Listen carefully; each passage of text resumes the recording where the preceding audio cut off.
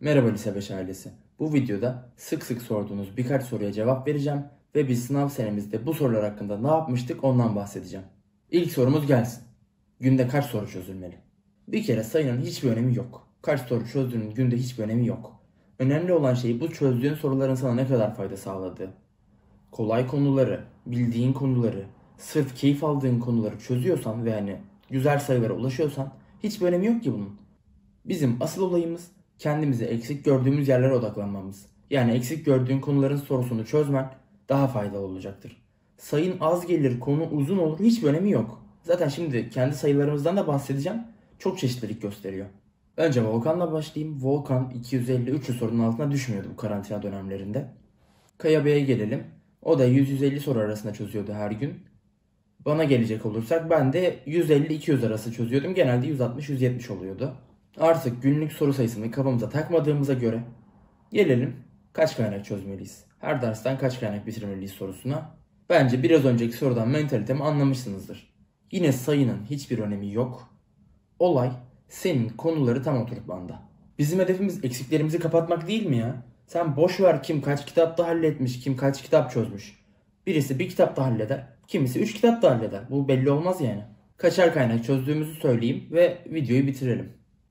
Volkan TYT Türkçeden iki kaynak çözmüş, matematikten bir kaynak çözmüş, TYT fenlerden birer kaynak çözmüş ve sosyalde denemelerden gitmişti. Yani gördüğünüz Volkan'ın Türkçesi daha zayıftı. İki kaynak çözmüş. Daha iyi olduklarından birer tane çözmüş. AYT matematikte bir kaynak bitirmiş ama o da fasikül fasikül yani kendine güvendiği iyi olduğu yerleri çözmemiş o da bahsettiğim gibi. AYT Fen'de de tüm branşlardan ikişer kaynak çözmüş. Mert'e geleyim. Mert de mis gibi her dersten birer kaynak çözmüş. Kafanızda soru işareti kalmasın. Ee, hem TYT hem AYT için her branştan birer tane kaynak bitirdi Mert. Ben TYT Türkçeden iki kaynak çözdüm. TYT matematikten bir kaynak çözdüm. TYT biyolojiden iki kaynak çözdüm. Fizik kimyadan birer kaynak çözdüm TYT için. Niye iki niye bir?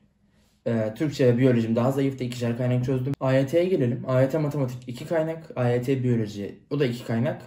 AYT fizikle kimya birer kaynak. Videoyu bitirmeden bir konuya daha değineyim. O da kaynakları alıp alıp çözmemek. Bir yerden duydun. O kaynak çok iyiymiş. Bunu öğretmenim önerdi. YouTube'da şunu önerdi. Bu, bu kaynağı almazsam olmaz. Onlara hiç girmeyin.